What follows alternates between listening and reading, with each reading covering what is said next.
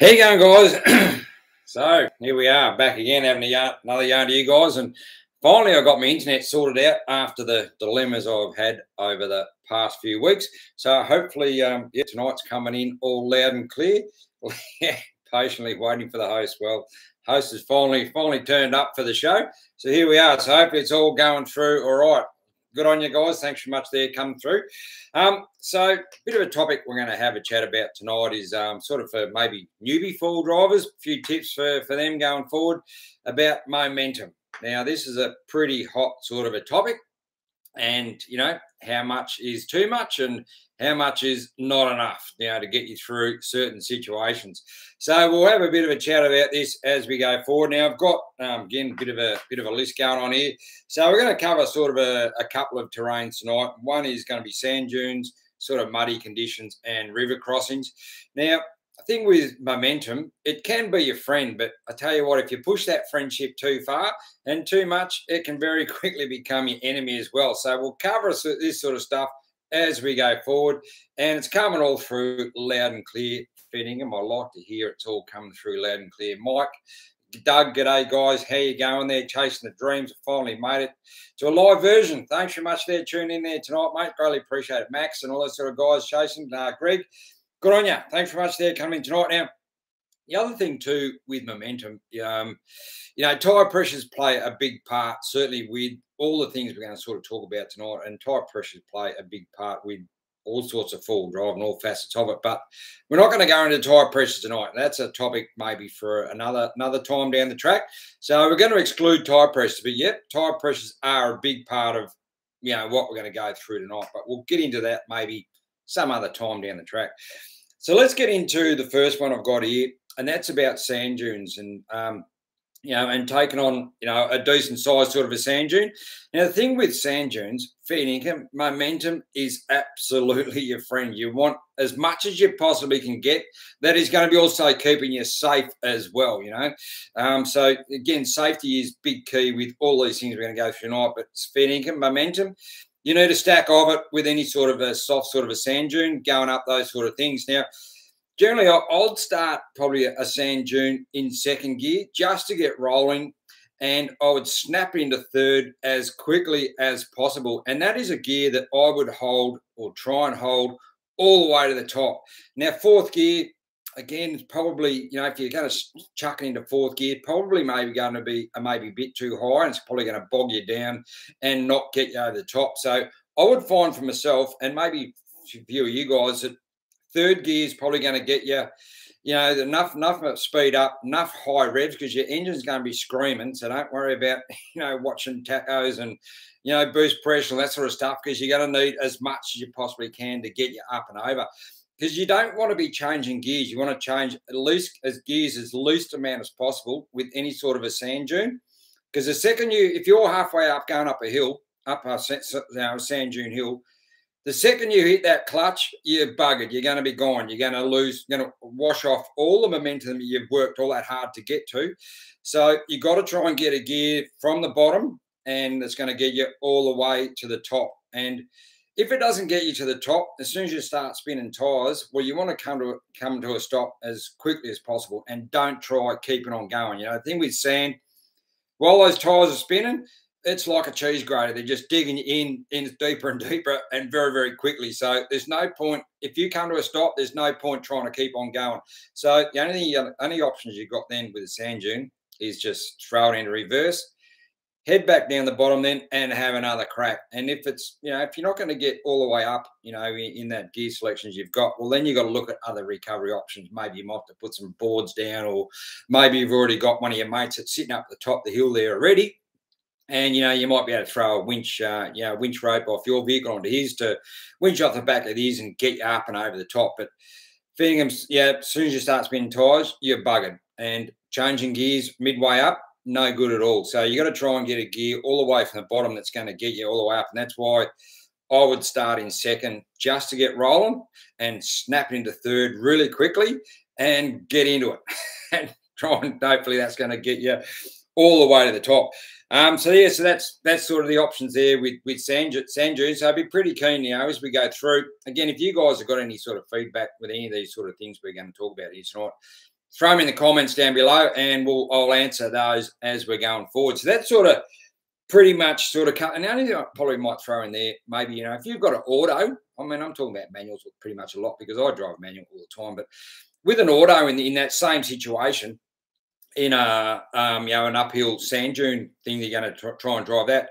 Again, you'd probably want to lock it into a gear, maybe lock it into your second, or you know, or maybe go from second and, and then lock it into your third. I wouldn't leave it in drive because if you leave it in drive, well, it's going to change gear as soon as the revs start talking to that that automatic transmission. It's going to start ch changing the gears for you, and it's a bit like hitting the clutch on on a manual. So you want to lock it into a gear that's going to stay in that gear and hopefully get you all the way and up and over the top in that automatic situation. So there, there's some uh, some tips here with both manuals and autos, um, and there's certainly differences. You know, they're, they're, kind of a little bit similar. Like I say, you know, if, if you go change, if it auto go, if you leave it in drive and it goes changing gears by itself, well, it's a bit like hitting the clutch in a manual. You bug it. So yeah, lock that gear in and get yourself all the way to the top. Otherwise, you're going to look at other options to get you up and over. But sand dune driving, it's a stack of fun. If you haven't done it, try and get on it. And you know, there's plenty of places where you can go and do it. So have a crack at it, that's for sure. Um, hey, Mud Ducks, how you going there, mate? Good to see you there tonight, Steve. Thanks very much for going tonight. And Mark, um, go from sunny Benalla uh, or Ballina. Uh, hopefully, it's going right up there in uh, New South Wales where you guys are up there. Uh, West Australian off road, how you going there, mate? Uh, hopefully, everything's going for you over there in WA. I think is ticking along pretty all right. So we'll get into maybe the next one here now. Muddy, slippery tracks. Um, this is sort of the next one. Now, again, momentum, again, with this one, is your friend. A bit like sand dune driving. Very, very similar, but different as well. So we'll, we'll get into this as we go forward. Just have another little sip of that. Now, again, with mud, muddy tracks, look, muddy mud driving is great fun going up. And this is all going up hills, not so much going down hills. The last thing you want, you know, you don't probably want momentum going down hills because it's going to work against you big time. This is all about going up. Um, all these sort of situations we're going to talk about. So the thing with um with driving a, a, a muddy track if particularly if you don't have ruts that you, know, you can drive in, if you've just got a nice smooth track and it's no nice gradient going uphill, well, again, gear selection here is going to be really important. So it's a bit going to be a bit similar to driving on sand for for myself. So I would again be starting off in second gear, and I'd be thrown into the third as quickly as possible. The thing with with mud driving on a you know on a steep uphill sort of a section if you go if you go changing gears, it's not going to be quite so bad to bog you down like it will be with with sand. Like as soon as you hit that clutch in sand, you're buggered. Whereas mud driving, it can be a little bit different because you got the momentum going. You're going to be you know skating across you know that muddy, slippery sort of a track as you're going up. So if you need to change gear, I don't know whether go into fourth because that's pretty extreme going into fourth gear, but you know you just might depends on what your how your gear ratios and all that sort of stuff work, but generally, again, you know, you're going to start at the bottom, start off in second, and get rolling, and then throw it into third really quickly. And hopefully, that's going to be enough to, you know, get you up to where you got to go. Otherwise, again, you got to start looking at recovery options. Um, but you know, if you've got ruts, well, at least ruts are going to sort of keep you in the direction where you want to go. Be like driving on train track, train tracks. Really, there, wherever the ruts go is where you're going to end up going to. So but if you haven't got those ruts, that's where you do need to really have that fine balance between too much momentum and not enough. Because if you go pushing boundaries with momentum here, it can very, very quickly become your enemy and turn very, very ugly. So, you know, you could slip off the track and down down the side of a track or into a tree or something like that. So you need to be really, really careful when you're driving muddy, muddy, slippery tracks. If they're smooth and no ruts and you're into it, um, yeah, that's where you've got to be a little bit careful about your momentum and how much is too much. But you've just got to weigh that up. As long as you're, you know, you've got enough going on there, engines again is going to be screaming pretty hard. But as long as you've got enough momentum there where, you know, it's keeping you going forward, well, just keep on that pace and maybe don't push it any further than what you do. So just get those revs up enough that's going to keep you going and get yourself up to the top. And the thing with, with muddy too, you know, if you come to it, do come to a stop, well, you probably could maybe reverse up a little bit, or you may even be able to get going from where you are. You know, that's the difference again from that to sand driving. Sand driving, as soon as you stop, you're buggered, reverse back down and have another go. So So that's the thing there with um, with muddy tracks as opposed to um, driving sand. You know, some similarities there, but also some big, big differences as well. So you need to be very, very careful with that. Um, and then we'll get into this is a big one. Now, this one feeding and does my head in sometimes when I see this sort of stuff going on, and that's river crossings. Um, river crossings. Now, the ultimate selection here now, momentum is can be your friend here. But again, if you push the momentum too fast in river crossings, fair dinkum is going to be your enemy to the nth degree and big time, talking big time potential damage going on here. So we'll get into this one again as we go forward. But um, chat with you guys, couple of you guys going on there. Hopefully everything's going all right. Kevin tried uh, tried to spin tyres going up a muddy track. Look, and again, the, the more you spin, particularly with mud, if you can get those tyres spinning, if you've got a mud tyre there and a good all terrain or something like that, spinning those tyres, you're going to be clearing that tread out too. So that's what's going to give you, you know, that traction to hopefully keep moving forward. Whereas with sand, it's a little bit different because your tread's not necessarily going to get filled up with, you know, like it does with mud. But um, but yeah, as soon, as soon as you start spinning tyres in, in sand, bogs in, choosing like a Phoenix, like a cheese grater, and you'll come to a stop really, really quickly. But let's get into the rivers because this one here is a big one. Um, now, I always do my river crossings in it's the ultimate gear. It seems to be second gear, low range. Now, the only time where you need a decent sort of momentum when we're talking river crossings is if the river is like bull bar deep or bull bar depth or deeper well, that's when you need to get some good momentum going. But look, if the if the river crossing's below your bull bar, well, you know you can just crawl across there and just you know just do, do your thing because you haven't got any force going up against your bull bar. Water's going to be running underneath your vehicle, and there's no real force on your vehicle. But if it's at bull bar depth or deeper, um, that's where momentum is absolutely critical. And it's and it's again, it's getting that gear selection right before you even start. So second gear, low range with a manual, you don't want to be changing gears halfway across because as soon as you hit that clutch, water gets inside your, your clutch and all that sort of stuff, and it can cause all sorts of issues with, you know, engaging your, your gears and that sort of stuff too. So getting your gear selection right from the get-go with a manual is absolutely critical when it comes to river crossings. Now, one thing I, I, I see a lot here when we're talking about, you know, too much momentum when it comes to doing river crossings um, is these these ones that you see, you know, you see people flying through in their four drives. They fly through a river crossing, especially if it's a little bit like shallow. It's bull bar under your bull bar and that sort of thing, so it's not overly deep. But you see them fly through this massive water spout going on. Yeah, it looks fantastic. It's great footage. You're going to get some wicked photos. But I tell you what, it's the best way to damage any sort of you know delicate wiring that's sort of under your bonnet because that massive spray is going to end up in your, into your you know into your engine bay and things like that. But it's also a great way of sucking that fan into your back in, backwards. The blades will suck backwards into your radiator and it'll chew your radiator to bits. Now, this I've seen firsthand. I've been on trips with guys where this is fair income happened. And if you chew it up badly enough and you haven't got like a soldering iron or something like that, one of you guys might be really handy where you can, you know, solder up those holes in the radiator, you are fair income buggered. And not only that, if it hits, if you choose your radiator badly enough, well, it's going to chew up all your fan blades as well. And this I've seen feeding them firsthand, and it's it's a world of trouble if you do enough damage. And one of the trips I went on where this did happen, um, and we had to go and get all sorts of um, all sorts of searching to try and get a new fan fan you know cluster sort of sent out to us and get this vehicle back on the road again. But so there's a big one there with river crossings. Um, yeah, second gear, low range, crawl through, particularly if it's bull bar depth or deeper. You just want to create that bow wave. So you got a nice amount of water that's coming off the front of your vehicle, um, not going across way too fast, just nice bit of bow wave come off the front. And that's going to sort of keep most of the water out of inside your engine bay. But look, if it's getting sort of bull bar depth or deep or length, when also you might want to think about, you know, chucking on a water blind. But again, that's another topic we can have for another time for those deeper river crossings. Um, so yeah, there, there's certainly some big ones there, but but fair can don't go racing through through river crossings um, overly fast because, like I say, you know, yeah, it looks great, and I've seen so much of this, and I've been on trips where this is fair can happen, as I've said, you know, and um, yeah, if you want to punch the hole through your radio, this is a that's a great way to go and do it. If you want to go and destroy your radiator and your fan at the same time. Um, so yeah, how are you going there, guys? Um, uh, CRJ, how you going there, mate? Uh, here a tip: river crossings need to tie the fan up.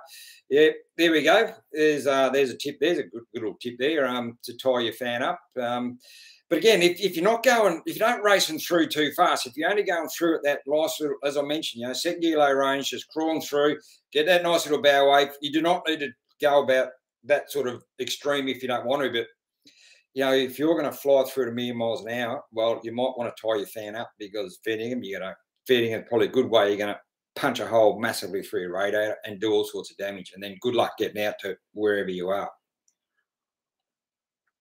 There we go, Ben. Alternators as well. Uh, huge water crossing issues. Well, they are too. Depends on where your alternator is, particularly if it's down low. Um, that's one good thing with the GU. With Nissan, they thought about that and they put the uh, alternator up really high. But yeah, there, there's some good ones there you got to certainly think about. Um, alternators are a big one, you know, with with uh, water ingress and, and that sort of thing. They you know, they are a waterproof sort of an item, but they don't like a stack of water going in them. You know, we all drive down the road in the rain and that's all fine. But when you're throwing them into a river crossing, it's a very, very different cup of tea. So there's another, that's a really good tip there, um, mate, about the, um, about the alternator. G'day, Darren from uh, Benambra. How you going there, mate? Yeah, that's a really nice spot up there, just the other side of Omeo. Hopefully it's all going well for you up there.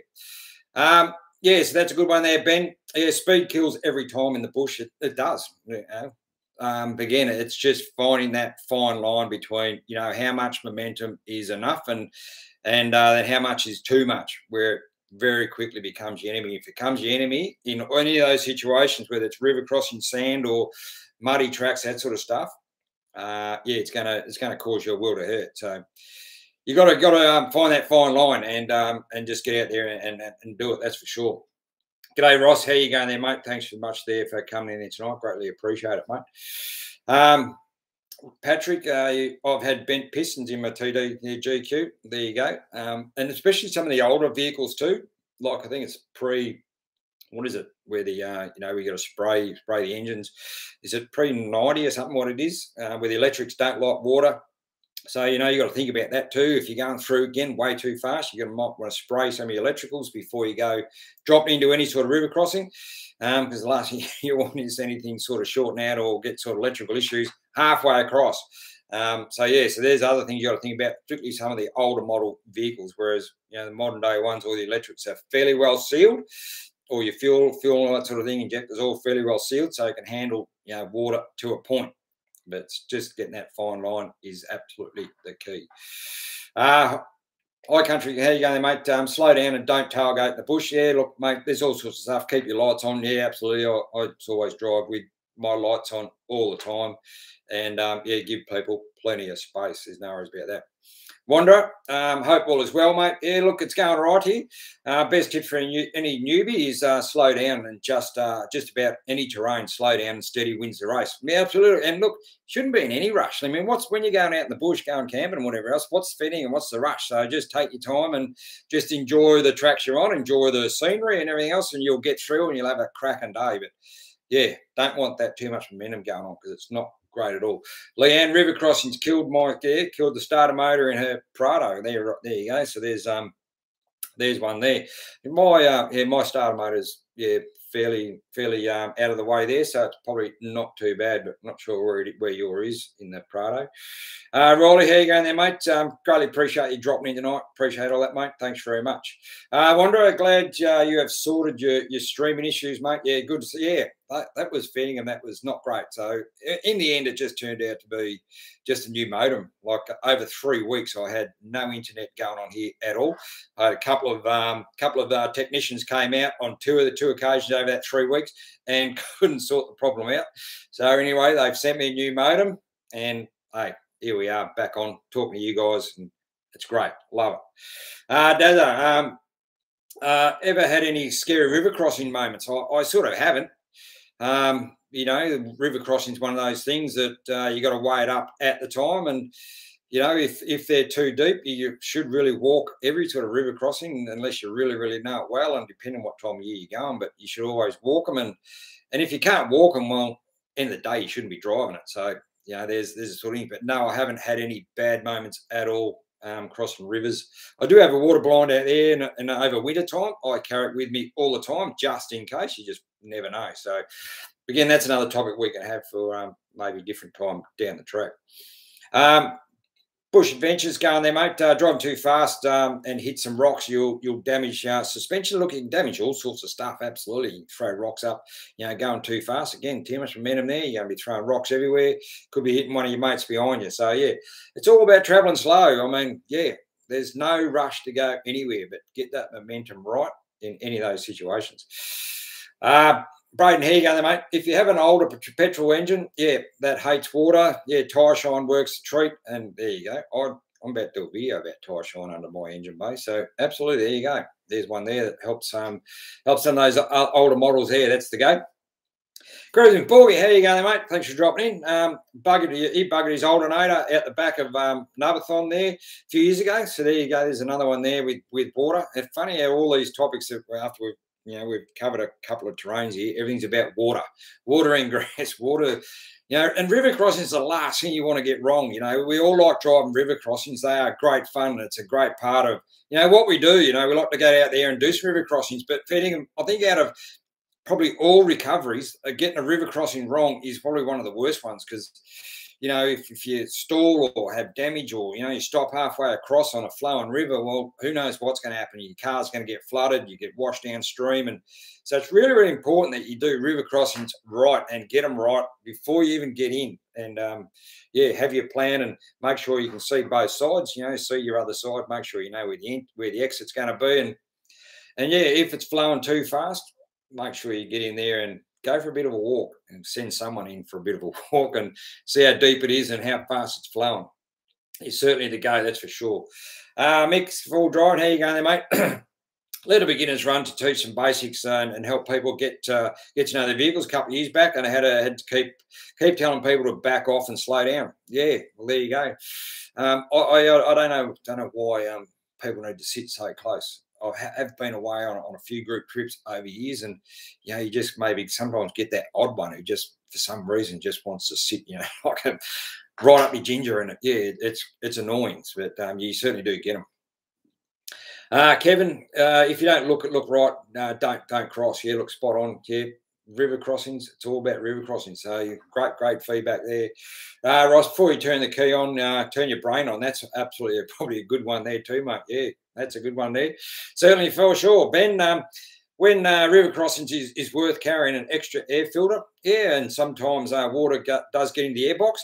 And look, particularly if you don't have a snorkel, that's certainly a big issue. And look, my my philosophy on, on the high country is no snorkel, no high country. It's as simple as that. But in the day, look, some people do do run the gauntlet, you know, and they do try and um, they can't maybe afford to put in a snorkel on right at the moment. They want to go and have a bit of a look around, and you know, in the day, it's a massive risk. And any sort of water that, particularly with your like your diesel engines, only takes a drip to get inside that engine, and fair income she'll destroy it. So, if um, that's one of the first things there you want to be sort of looking at, if you want to have a really good look through the high country, probably any time of year, doesn't have to be just winter, is get a snorkel on as, as quick as you can. And you know, there's other advantages too, you know, with your engine breathing better and that sort of stuff, and the air's up higher and that sort of thing. But particularly with river crossings, absolute must. And yeah, I've, I've, said that for ages. No river, no snorkel, no river, no high country.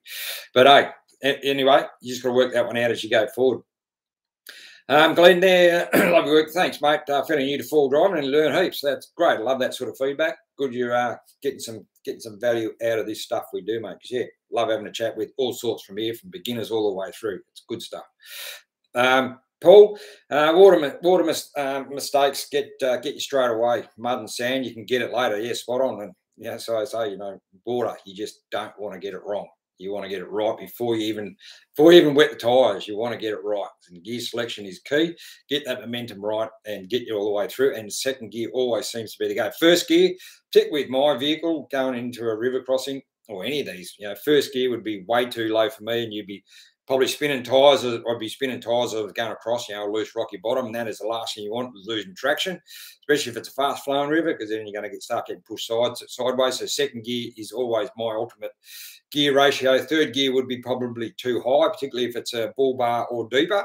because um, then you got that extra force up against the front of the bull bar that's sort of wanting to push you backwards while you're trying to go forwards in maybe a higher gear.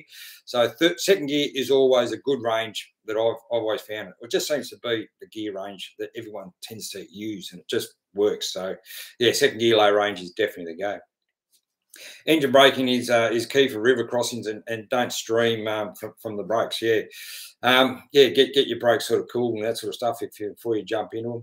Uh, mix um, some some stalls on the hill and they roll back into into that and trouble starts. Yeah, look, um, sort of covered a couple of videos there about stall recoveries and that sort of thing. So maybe check out some of that. Uh, Leanne, before crossing, I cool my motor. Yep, yeah. If, you, if you've been driving, um, you know, some down some steep tracks and uh, or up and down steep tracks, and all of a sudden you come to a river crossing. Well, the best thing you want to do before you drop drop drop your vehicle in there is yeah, let it cool down for you know for five or so minutes and kick back. Maybe have a cuppa while everything cools down, your brakes and your diffs and that sort of especially if you don't have diff breathers and that sort of thing going on and gearbox breathers. Whereas you know, again, patrol, it comes standard with all that sort of stuff. So a bit lucky there, but it, you know, that's another good thing too to certainly look into um, is breathers on your diffs and that sort of thing. So let them cool down, let your brakes cool down. As soon as you drop into any sort of cold river with, you know, hot brakes and hot diffs and all that sort of stuff, particularly your diffs, um, you know, everything it just expands inside and you know and water gets inside all your seals and that sort of thing. So it's the last thing you you want. So and with brakes you can certainly you know warp your your discs and everything too if they're too hot. So let things cool down for a few minutes, then go and do your river crossing is certainly the way to go for sure. Um, best to stop, yeah, cool your brakes and that down. Yeah, Kev, absolutely, mate. That's for sure. Matt, um, the boys at Full Drive 24-7 need to listen to yeah, mate. Don't worry.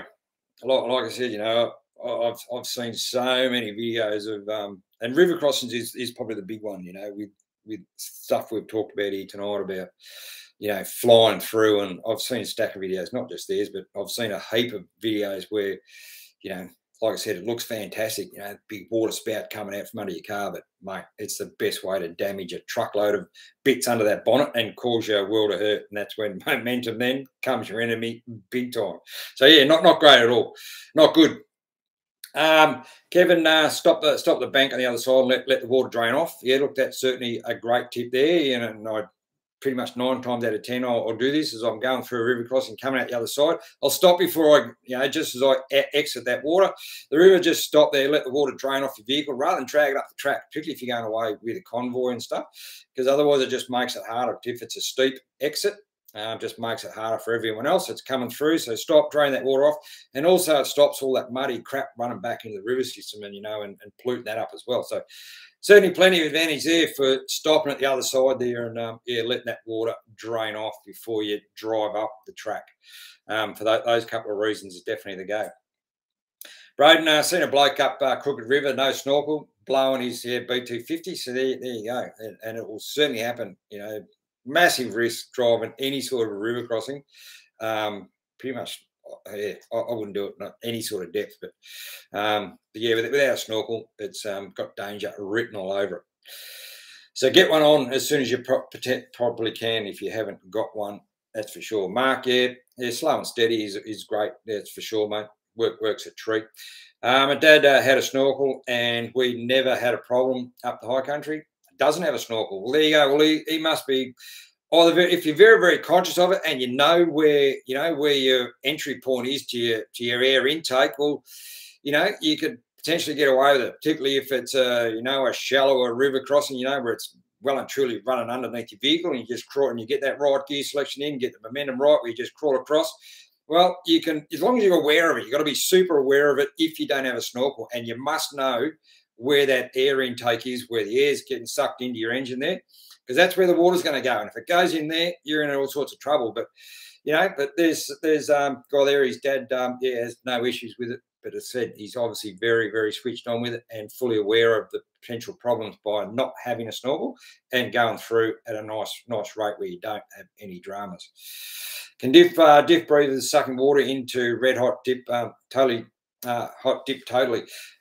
Yeah, can. Um, yeah, just got to make sure your diff breathers are absolutely go, mate. I've say my patrol comes standing with them, and again, and yeah, you, but again, you just got to make sure you stop before you go in after you've been doing some steep stuff or whatever. Stop and let everything cool down before you drop in. Like I'd still do that even with breathers because the last thing you want is any water getting in there and that sort of stuff. So just stop and stop before you drop in is definitely the go. 80ZX, good to see you back, mate. Thanks very much there. Greatly appreciate you dropping there tonight. Uh, Ross, um, don't head into water until the car ahead is cleared. Yeah, and that's sort of another one. You know, it's amazing every time you see, you know, you see convoys going across river crossings and you'll see a bloke that's halfway across and and the next two or three are following up behind him and I think, far out, you know you know, this has got danger written all over it too. You know, if the car and vehicle in front of you has, has, an issue, not might hit a rock, get hung up on a rock, and then all of a sudden you then, particularly if you've got a manual, as I mentioned earlier on, um, you know, then you've got to start hitting clutches and stopping in the middle of the river. Absolute not no go zone. So, yeah, go across one at a time and wait till the other guy comes out the other side. And then you drive drive in and do the same thing, and you'll get through the other side no dramas at all. Generally, that's generally the go. Uh, I should do a live on uh, bog holes and um, yeah, bog holes. Well, you know what? I I don't. I, will drive bog holes if if I have to, but feeding them they are one part of full driving. I don't go looking for at all because driving bog holes, it's um, they just destroy anything anything that moves under there. And there's you know you have a look under your vehicle and all the stuff that turns from your tail shaft to your wheels and tires and um, brakes and bearings and that sort of stuff. Anything that spins under there and it gets covered in you know that really fine, sloppy, gritty, muddy stuff that you find in bog holes, just bending and destroys it. It's like it's like cut and paste going going into you know into those, those items, those areas that move around. So you know, bog holes, they, they can be a lot of fun. There's no doubt about it. Um, but yeah, I only drive them if I have to, but I don't get up on a weekend thinking, oh, where's the first bog hole? I'm going to go looking for it because that is not the sort of stuff I like to go and drive. Only if I have to. If I'm confronted with it and there's no other way around it, well, yeah, do it and uh, get out the other side.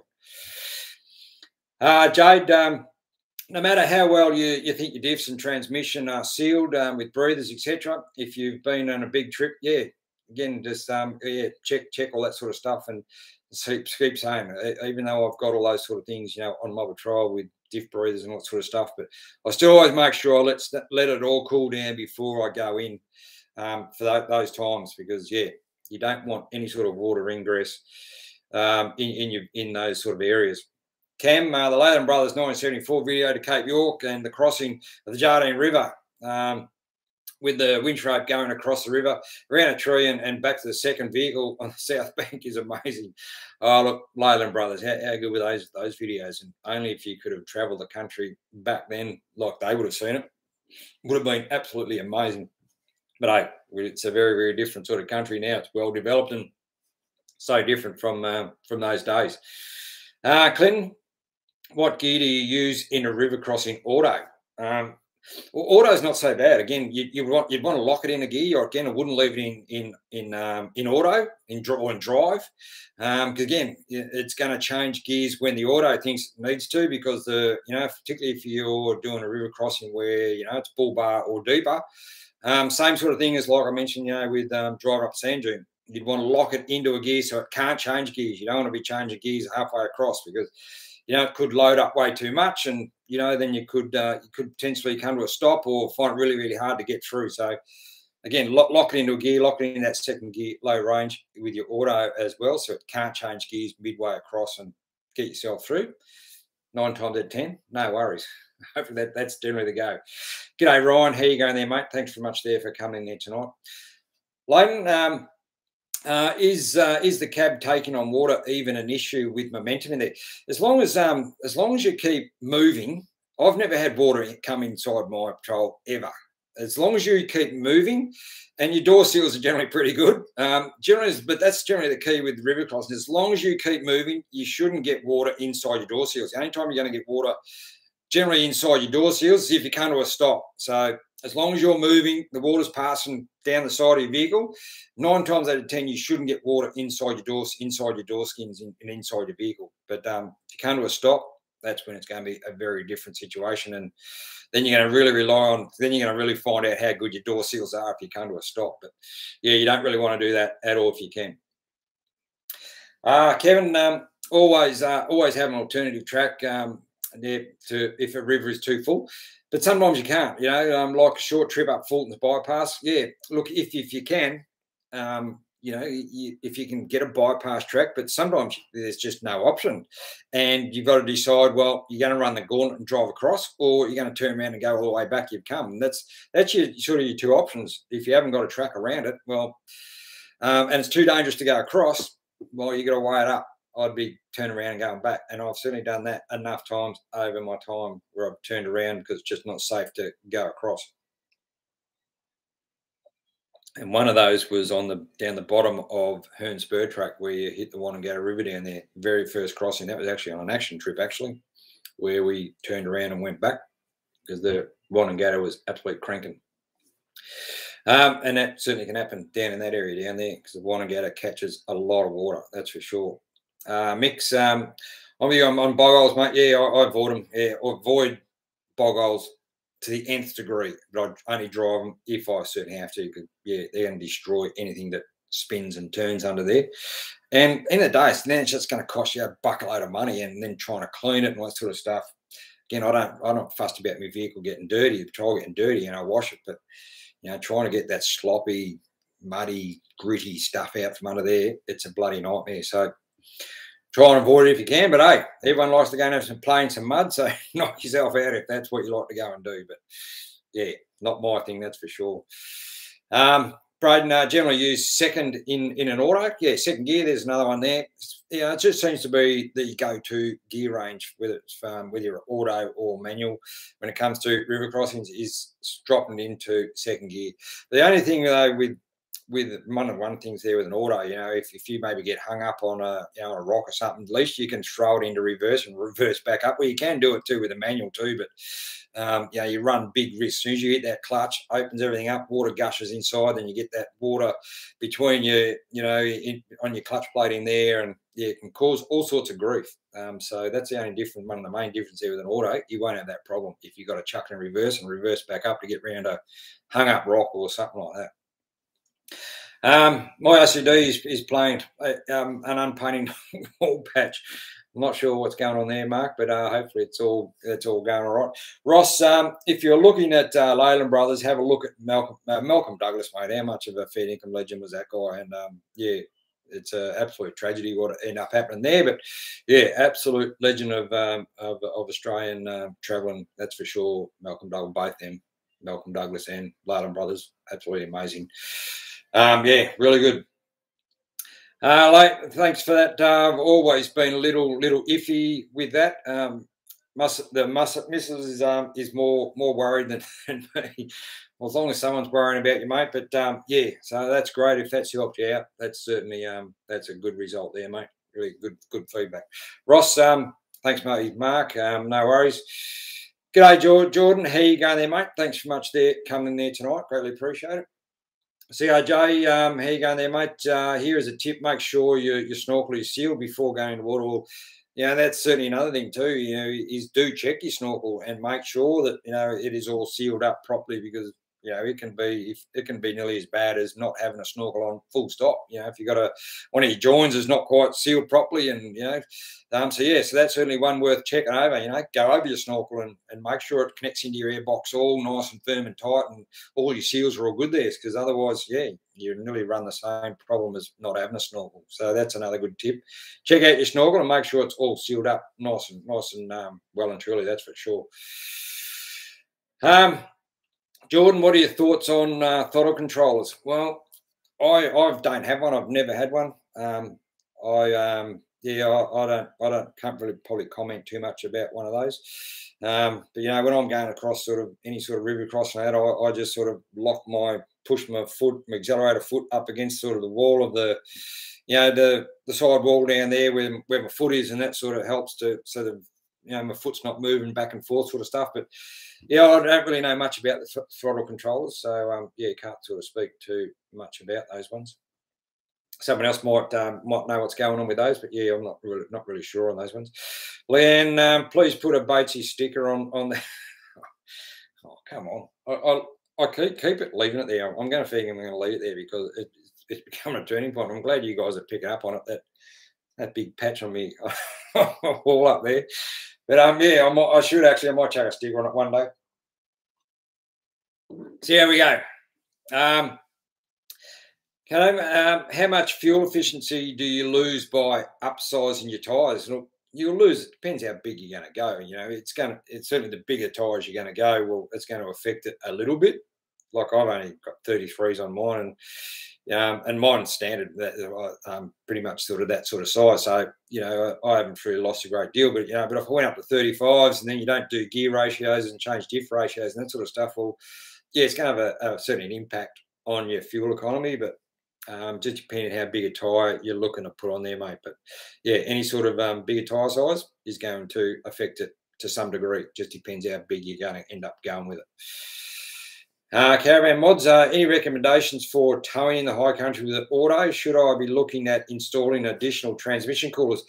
Look, absolutely. Um, again, I've not done a lot of towing with with an auto. Um, if I'm not sure where you're based, mate, but if you're talking about auto coolers and that sort of stuff, have a chat with Rod and Stu down at Wholesale Automatics down there in Bayswater. They are all over um, the coolers and that sort of thing. And Rod's very, very, they're both those guys extremely knowledgeable about the uh, how much a, an auto cooler will make makes big difference. So yeah, certainly well worth having a chat. And if you're going to do a lot of towing, depends on where you're going to go and how much towing you're going to do, what sort of country you're going to drive over.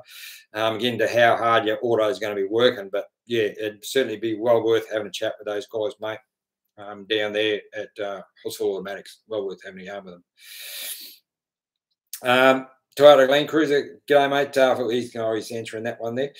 Righto, bourbon and Russell's got a bourbon and coke today that's uh, that's all going good, and hopefully everyone's going right with um, all this crap that's going on. But but anyway, I think that um, you know that that sort of covers it. Um, the momentum sort of topic, and hopefully uh, you know these full drive tips for newbies, and you know anyone else might be able to get some uh, few few tips out of this.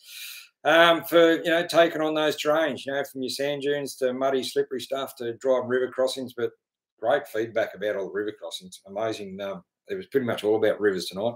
So yeah, really, really good. But uh, we'll wrap it up here now, guys, and uh, greatly appreciate you all coming in tonight. And glad to be back having a yarn to you guys and talking some more crap with you guys on a Sunday night. So we'll see what happens for next week. And um, and tomorrow night's video is uh, all locked and loaded, ready to go. Murray River solo number two. Follow on from the one from last week. Another cracking location. Check that out tomorrow night, 5 p.m. It'll be on ready to roll. Good on you guys. Have a great week. Stay safe wherever, wherever you are. Let's hope we can all get back out in the bush very, very soon. And we'll catch up with you then, I reckon. Good on you guys. Have a good one. Thanks very much for tuning in. See you later on. Hooroo.